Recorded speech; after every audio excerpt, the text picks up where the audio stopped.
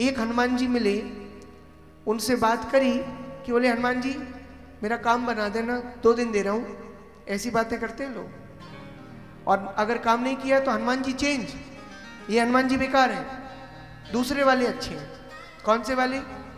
वो जो पाँच हनुमान जी बदलने के बाद, पच्चीस हनुमान जी बदल देने के बाद, एक छोटी सी बढ़िया पे जो मिल गई, वो वाले अच्छे हैं। क्यों? क्योंकि उनसे कहा और काम हो गया, और ये इनसे कहा, काम तब नहीं हुआ। आजकल के मटेरियलिस्टिक ड्रिवन पर्सन की यही साइकोलॉजी हो गई है। उन्हें भगवान कोई मशीन दिखते हैं कि जहाँ बटन दबाओ और जो इच्छा हो सो पाओ। या फिर भगवान से लेन देन की सौदेबाजी करने पहुँच जाते हैं। क्या? बोले, तुम हमें इतना दो, हम तुम्हें ये देंगे। कई बार तो पकड़ में आ जाते हैं ऐसे लोग, भाई, सौदेबाजी भी तो सौदेबाजी करो, धोखेबाजी करते हैं। क्या? भगवान से कहते हैं, प्रभु, मेरा दो करोड़ का प्रोजेक्ट जरा फाइनल करवा देना। मैं तुम्हें बीस रुपए का प्रसाद चढ़ाऊँगा या सौ, दो सौ का प्रसाद चढ़ाऊँगा। अब बताओ तुमने भगवान को क्या बेवकूफ़ समझ रखा है क्या? उसे क्या समझ में नहीं आता तुम क्या कर रहे हो? पहली बात तो भगवान कोई लेन देन से तो मतलब है ही नहीं। क्या उनके पास इन सब की कमी है?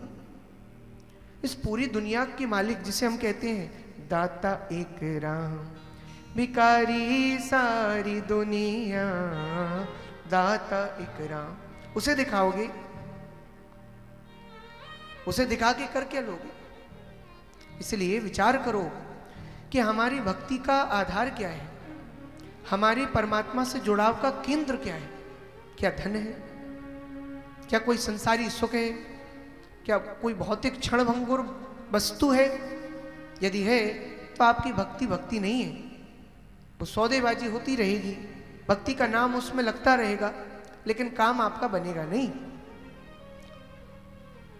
देखो, भगवान के प्रति यदि आप सच्ची भक्ति, सच्चा साधन जीवन में चाहते हो तो पहले तो इस कथा की नित्य रसधारा से जुड़ जाओ।